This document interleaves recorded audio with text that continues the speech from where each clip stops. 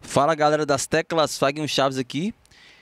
Nesse vídeo eu quero mostrar para vocês a importância uh, da equalização, da timbragem, antes de fazer um sample para jogar no teclado, né? A galera que me acompanha aí sabe que eu trabalho com programações, né? Para teclados arranjadores e normalmente ritmos sampleados. Então a gente tem que fazer o sample, bateria, baixo, instrumentos, fazer um pacote, né? Chamado pack usar o programa da Yamaha Expansion Manager, lá montar os kits de bateria, instalar dentro do teclado e assim depois programar o ritmo, tá? Você que não conhece meu trabalho, tem um canal Faguinho Chaves, onde eu disponibilizo as minhas demonstrações de programações de ritmos que eu tenho à venda, eu tenho um site, faguinhochaves.com.br, onde você pode adquirir também. Mas o ponto aqui é o seguinte, é, eu quero falar para vocês o porquê que, por exemplo, um teclado Korg, já que eu uso muito Yamaha, então o porquê que um teclado Korg, mesmo tendo equalizador separado, não vai me ajudar muito. vou explicar por quê. Porque às vezes tem gente que faz pergunta, ah, mas o teclado Korg, ele tem equalizador peça por peça e tal, não é melhor que o Yamaha e tal.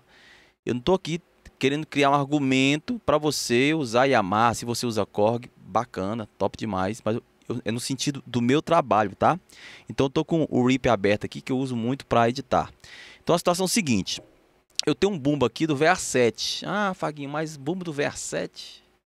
É porque eu estou montando um ritmo de um artista, eu estou montando um kit referente a esse artista. Ele usa muito esse kit do, do, do VA7, né? Enfim, e esse bumbo é um pouco feio, né? Mas quando o artista grava lá no estúdio, então tem compressão, tem equalização, então o som fica um pouco melhor.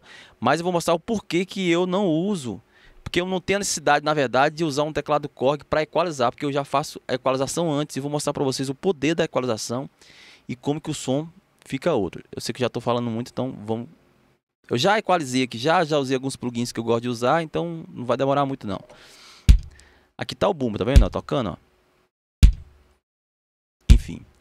Então aqui eu, eu coloquei um, um, um plugin que ele é um transiente, né? Que ele cria um harmônico. Ele, ele é como se você tivesse o, o, o microfone aqui e o bumbo é como se aproximasse o microfone do bumbo. Aqui está o bumbo, né? Vou tentar explicar aqui. Aqui está o bumbo, né? E tem o microfone do bumbo. É como se você chegasse perto do bumbo, né? Lembrando que esses bumbos, que por mais são de teclados, eles foram tirados de uma bateria real. Então eles também são um sample, entre aspas, tá? É porque tem gente que tem preconceito com o som de teclado, né? Então aqui, ó, a diferença, ó. Então ele aproxima mais o som, não é volume, é outra parada. Ele deixa o som mais próximo, né? Na sequência tem um equalizador aqui. É, antes, né? Deixa eu dar um zoom aqui, ó. Esse plugin é da Waves, tá? Eu uso esse equalizador aqui, ó, bem antigo, mas adoro ele, tá? Da Ultra Funk. É, vamos lá. Eu vou desmarcar aqui para vocês verem as diferenças, tá? Importante usar fone, tá bom? Uso fone. Ó, primeiro, a parte de tirar o som fofo do bumbo, né? Aqui ele deu essa frequência aqui, ó. 127, é o som fofo, ó.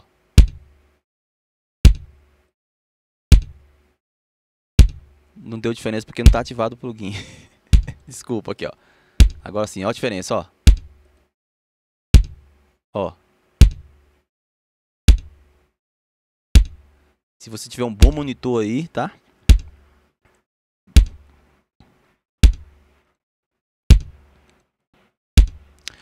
Outra coisa, eu acrescentei um sub. Se você tiver um bom fone, que tem um grave legal, você vai sentir a diferença, ó. 100 essa é a maneira que eu equalizo, ó.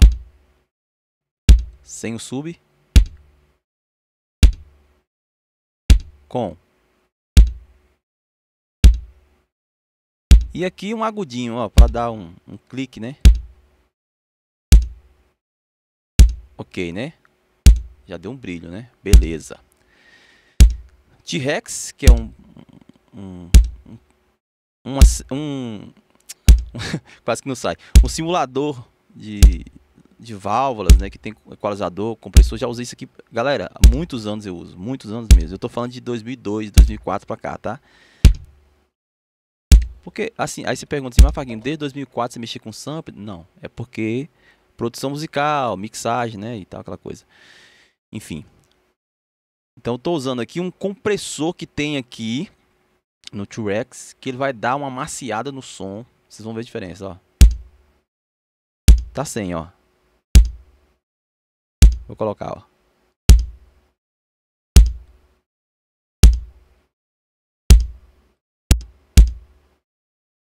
Sem. E deixa o bumbo mais cremoso. Para vocês verem a diferença, olha só, sem nenhum tipo de, de processamento. Sem nenhum, ó. Esse é o bumbo que sai do teclado. Quando eu ligar aqui, ó. Quando eu ligar aqui, ó. Esse verdinho aqui, vocês não vê a diferença, ó. Vou ligar, ó. A diferença é grande, né? Então, espero que vocês tenham entendido. Então, no meu caso, eu estou falando do meu trabalho, tá? É, mesmo que o teclado tenha equalizador separado, lá no um teclado, por exemplo, um Korg, você não tem esse, essa forma de equalizar aqui, entendeu? Onde você tem, por exemplo, aqui eu tenho seis bandas de frequência, né? E você consegue ser mais detalhista, né? Por mais que um teclado tenha equalizador separado, peça por peça, não tem esses detalhes, sem falar esses plugins que excita o harmônico. Ali eu usei um T-Rex ali. Você pode usar o que você quiser, tá? É um, é um, aqui já é uma questão pessoal, mas eu gostaria de compartilhar com vocês. E é a forma que eu gosto de equalizar para depois jogar no teclado. Então, mesmo que o teclado tenha equalizador separado, aqui no computador tem muito mais recursos. Então, o vídeo era sobre isso aí, tá bom? Espero que vocês tenham gostado vai me desculpando se eu não fui tão claro assim, né? Eu tentei ser o máximo possível, tá bom? Espero que vocês tenham gostado. Tamo junto, é nóis.